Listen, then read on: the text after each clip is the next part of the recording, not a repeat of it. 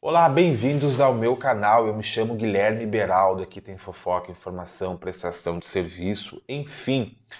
Um dos vídeos mais pedidos pelo canal é sobre o programa Melhor da Tarde, apresentado pela Kátia Fonseca na Rede Bandeirantes.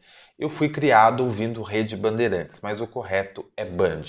Antes de mais nada, se inscreva no canal, compartilhe, dê like nesse vídeo que é muito importante. Se você não é inscrito ainda, tem muita gente que não é inscrito, então se inscreva no canal, que é muito importante para o crescimento dele e rumo aos 10 mil é, seguidores no mês de agosto.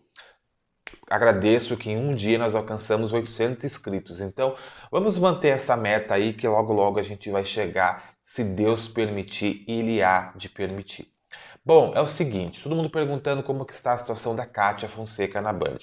A Kátia ela apresentou o programa dela de casa durante um tempo por causa da Covid-19, né? Fez o seu programa de casa, retornou aos estúdios agora há pouco tempo, faz ali o seu melhor da tarde, edição local, das duas às três e das três às quatro horas, a edição nacional. Se eu falar para vocês que o Melhor da Tarde é um campeão de audiência da Band, eu vou estar mentindo. Não é. Mas a audiência é satisfatória. O que é uma audiência satisfatória? É na faixa de 1,2, 1 ponto a 2 pontos, que é o teto que a Kátia está atingindo na Bandeirantes que é um público que veio com ela da Gazeta também. Vale lembrar que nessa faixa horária a Band exibia aqueles programas do Cavalinho Manco, que você ligava lá no 09800, não sei o que, não sei o que, não sei o que, que gastava 7, 8 reais de ligação para você descobrir qual é a peça que estava faltando, aquela porcaria lá que colocaram na TV. Então a Band não faturava nesse horário.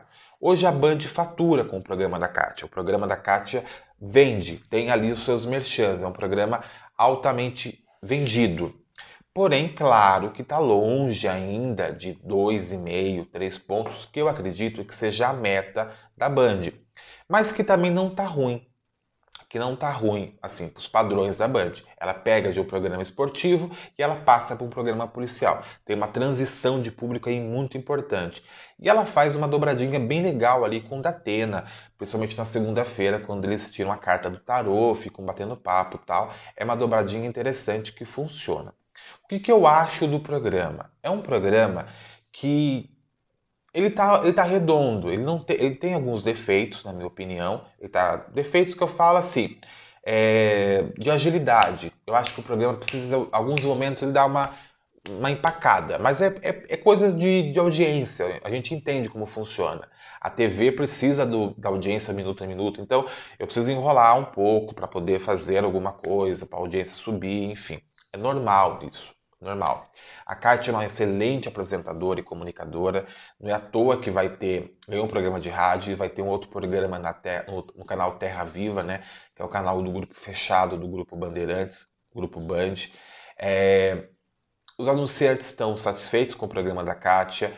Sim, o quadro da culinária perdeu um pouco da sua importância. Por quê? Devido à Covid-19, todos os profissionais têm que usar aquela máscara de acrílico. E claro que dificulta o processo de fazer a receita, enfim, e também não fica tão bonito no vídeo. Eu dou os parabéns para o programa Mulheres, por exemplo, que manteve a sua culinária mesmo com aquele acrílico, né? E sendo, sendo feito tal. Então, a Band, por enquanto, está satisfeita com o programa Melhor da Tarde, com a Kátia. Não é à toa que está dando novos projetos para ela, porque ela tem anunciantes, ela traz anunciantes. O público que acompanhava ela na Gazeta foi para a Band? Sim, foi para a Band. Não é à toa que a audiência do Mulheres deu uma caída muito grande. Não posso, assim, eu seria hipócrita da minha parte falar, nossa, a Kátia ela é um sucesso de audiência na Band. Não é, não é, porque tem programas que dão mais audiência que ela. Por ser o único programa feminino na grade, até o programa da Mariana Godoy estrear, que a gente não sabe qual vai ser a pegada, Pros, para os padrões da Band, tá ok. Dois pontos, um e meio, um ponto, tá ok. Não chega a comprometer ali a, gra... ah, perdão, a grade vespertina, né? Porém, claro, ela briga ali com a cultura, ela briga ali com a rede TV, ela tem ali um público que ainda é, é fiel, mas tem concorrência pesada de outro lado. Em relação à Gazeta, ela sempre ganha, ela não perde para a Gazeta, desde que ela dos últimos tempos aí a diferença é de 1,2 a 0,3, 0,4, 0,5.